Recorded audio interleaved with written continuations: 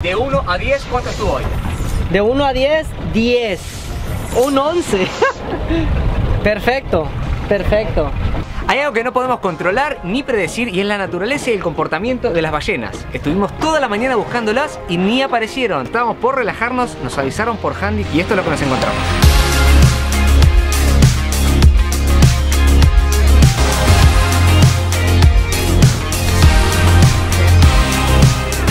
El avistamiento de ballenas en Riviera Nayarit es una de las atracciones más espectaculares que pueden realizar en esta región. Las ballenas jorobadas llegan a Bahía de Banderas después de pasar por muchos de los pueblos costeros como parte de la migración que realizan anualmente. La mejor temporada para el avistamiento es desde mediados de diciembre hasta finales de marzo. En esta región es posible ver ballenas jorobadas, orcas y delfines.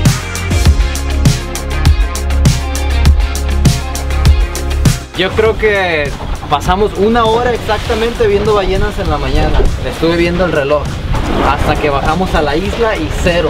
Nada, nada. ¿Y ahora cuánto hace que estamos siguiendo a las ballenas? Desde que salimos de la Marcos recorrimos como unos 20 kilómetros. Hace 30 minutos por lo menos, ¿no? Que tenemos viendo ballenas. Y no se cansa. Sí, ¿verdad? Sigue saltando.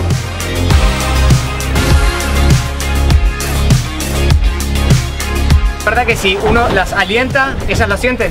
Sí, claro. Sobre todo los vallenatos. Los vallenatos responden a, a las emociones o expresiones fuertes de uno, gritos de alegría, todo, todo eso. Las ballenas jorobadas son curiosas y a menudo se acercan a los barcos de observación regalando un espectáculo único, como el que nos tocó vivir. Pues echar bien el ojo. Pega bien el ojo. Son muchos los sitios desde donde uno puede realizar este paseo. En nuestro caso, fue saliendo desde un pequeño pueblito llamado Lo de Marcos. Un tour de observación de ballenas puede durar aproximadamente 4 horas. Recomendamos que al reservarlo elijas aquellas empresas que posean embarcaciones pequeñas, ya que son de bajo impacto y permiten acercarse más a estos mamíferos sin molestarlos.